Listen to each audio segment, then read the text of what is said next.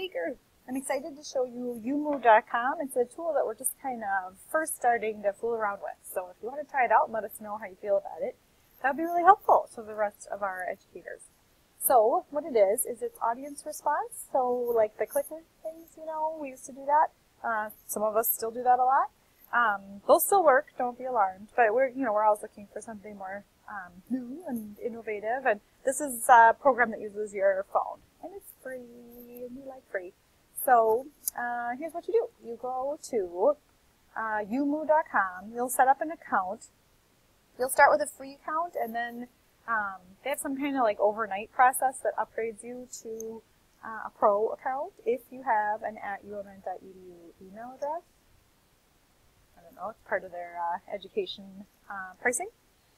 So, let's see. Then, the way that it, they kind of separate it out by dates with this calendar thing, I don't really get that part. So I just do the plus and I create an event, and then you add questions to it. I can do that real quick so that you can see what that looks like. Super easy. All you have to do is title your event, just another event. For some reason, participants is a required field. I think that might be for like licensing purposes or something. Um, and then you can just add questions. These are all the different kinds of questions you can add.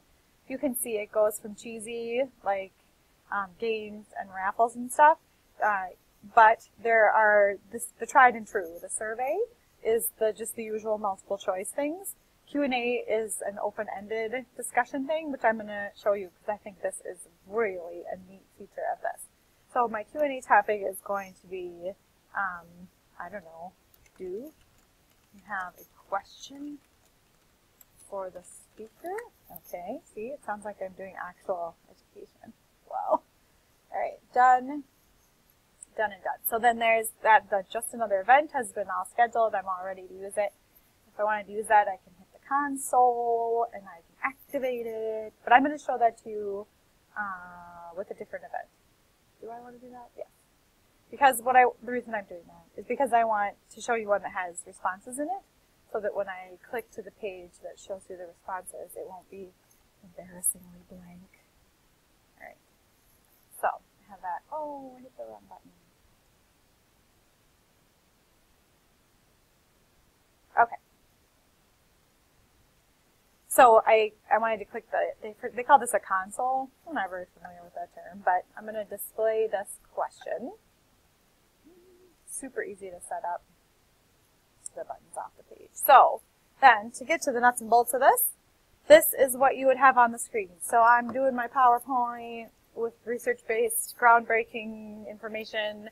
I want to know what people think, if they have any questions. I cut over to this. And uh, this is exactly what my audience would see.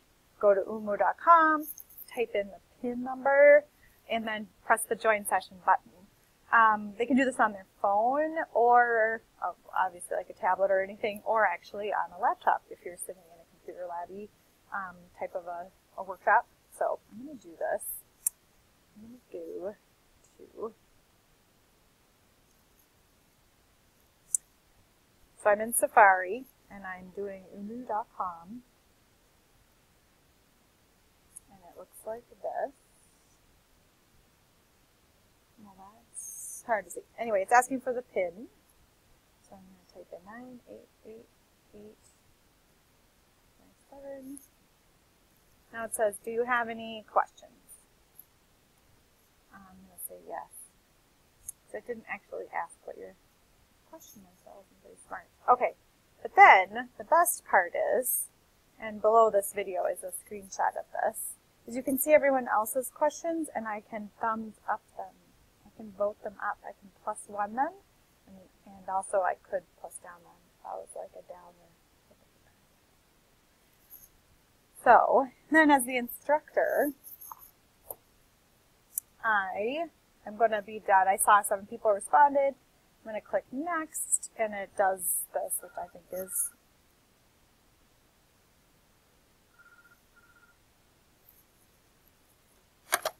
sorry whoever just called me.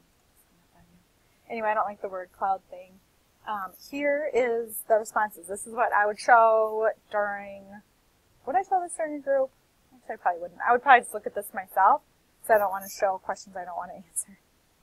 might be the advantage of this. But what happens is they put they get put in order. So the one with the most thumbs up uh, gets first, and then they go in order.